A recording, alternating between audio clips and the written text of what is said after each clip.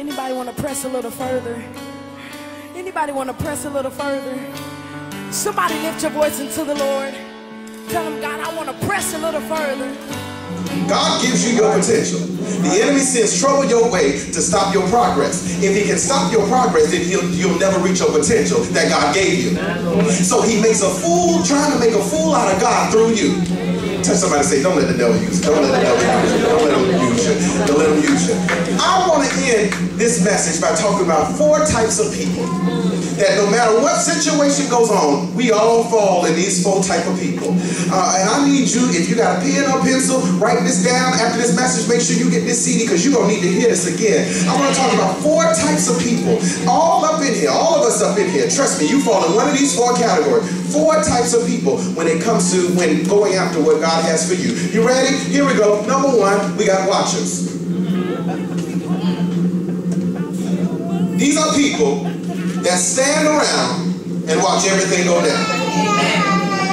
They just watch it. They don't perceive it correctly, they watch it. These spectators sit around and watch, hoping that if they watch long enough, things are going to go their way. They come toward life like a person goes to the theater. They come to be entertained. Marriage, but they never work on it. They watch their children, but they never put anything in them. They watch their church, but they don't work in the church, they just watch. It's getting quiet in here. They are simply watchers. Ladies and gentlemen, you will never become what God wants you to be as long as you remain a watcher.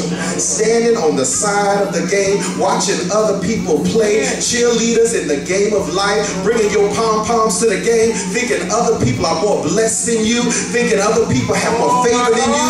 The Lord tell, uh, Lord told me to tell you, drop your pom-poms, put on your jersey, and get in the game. And if you get, if you get in the game, God will open up the windows of heaven and pour you out a blessing you don't have room enough to receive. And besides, can I just give somebody a newsflash? You get too old to be keep being a watcher. You're running out of time to be a watcher. Uh-huh. Shoot or dribble, but you got to do something for God right now.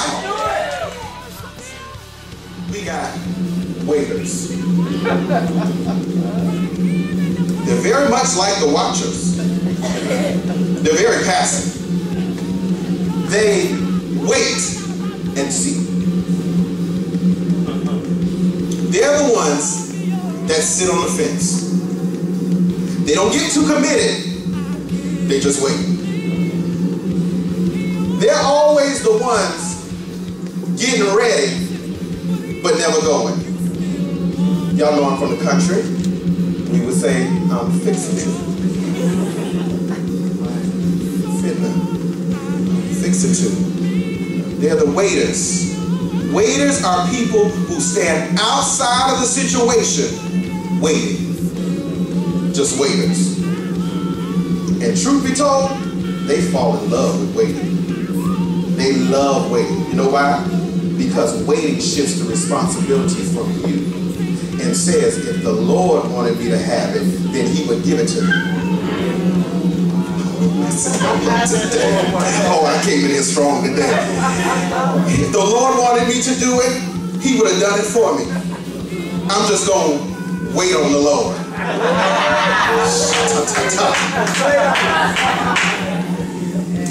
That way, you get to blame God. It's not my fault. God didn't bring it to pass. I was waiting. It's not my fault it didn't happen.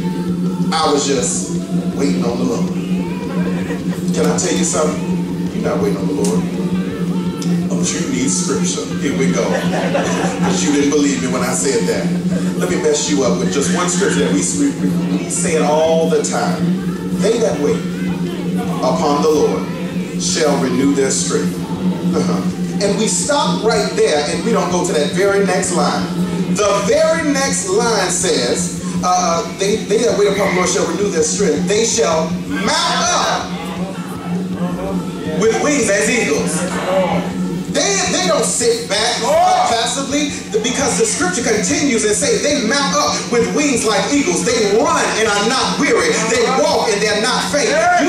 sit back and cross your legs talking about you waiting on the Lord, sitting in your house needing a job, talking about you waiting on the Lord. What's what what? It's gonna ring the doorbell and come looking for you. The devil is alive. You have to get up and go after what God wants for you. You have to be radical. You sitting waiting uh, on a husband. You haven't left your house in five years. You run with a packs of women all the time. You never out there where anybody can talk to you. You don't put yourself in proximity to anybody.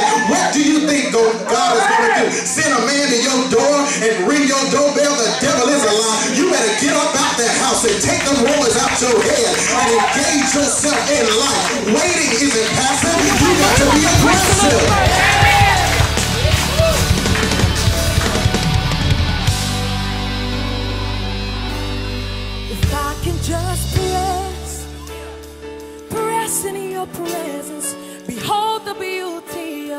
Face.